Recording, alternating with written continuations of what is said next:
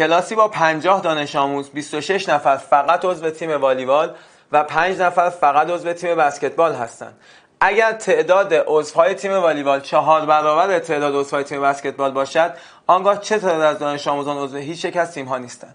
حل این سوال بهترین کارش نمودار ونه. من والیبال و بسکتبال در نظر می‌گیرم. گفته 26 نفر فقط والیبال. 5 نفر فقط بسکتبال. این X این هم Y ما می‌دونیم تعداد اعضای تیم والیبال یعنی 26 به اضافه X مساویه با چهار برابر تعداد اعضای تیم بسکتبال یعنی 4 تا 5 به اضافه X که 20 به اضافه 4X 3X مساوی 6 X میشه 2